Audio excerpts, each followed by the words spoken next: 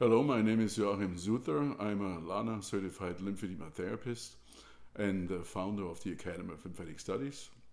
I'm also the author of this Facebook page and uh, lymphedema blog, which is a website dedicated to provide relevant and up to date information to patients affected by lymphedema, lipedema, and other forms of swelling. Today, I would like to talk to you about primary and secondary lymphedema, how it develops, and why it is important to treat lymphedema as soon as possible. Lymphedema is an extremely common condition. The highest incidence of secondary lymphedema is observed following surgery and radiation for malignancies. The overall cancer treatment related incidence of secondary lymphedema is about 15%. However, the breast cancer treatment related incidence rate of uh, secondary lymphedema is about 42% in the United States. The 2017 statistics on breast cancer from the American Cancer Society indicates that almost 255,000 new cases of breast cancer in females and 2,200 in males were diagnosed in the United States that year.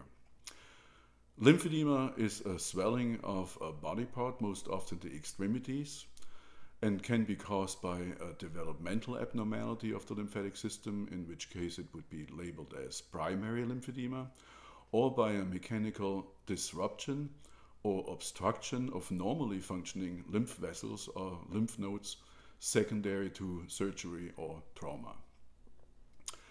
If lymphedema is caused by surgery or trauma, it would be classified as secondary lymphedema. Now, if the lymphatic system is damaged or impaired to such an extent that the remaining healthy lymph vessels in the affected body part are unable to compensate for the damaged lymph vessels, lymph fluid, which has a high content in protein, will accumulate in these tissues. Lymphedema is evident initially as a swelling of a body part, most often the extremities.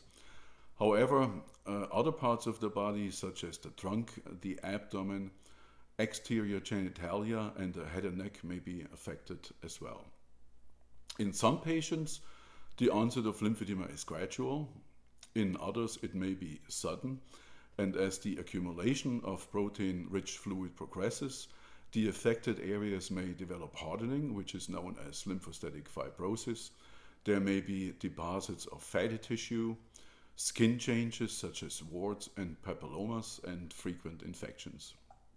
In many cases, specifically if no treatment is initiated, lymphedema can lead to an extreme enlargement of the affected body part, which is known as lymphostatic elephantiasis.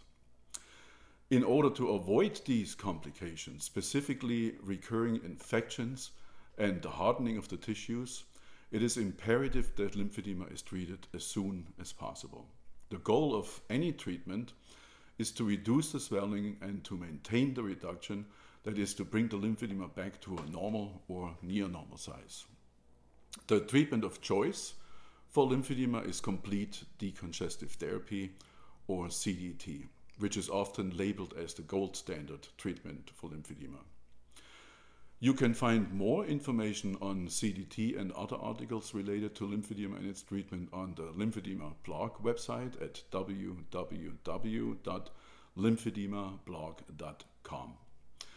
Just click on an article that may be of interest to you on the index on the left side of the website.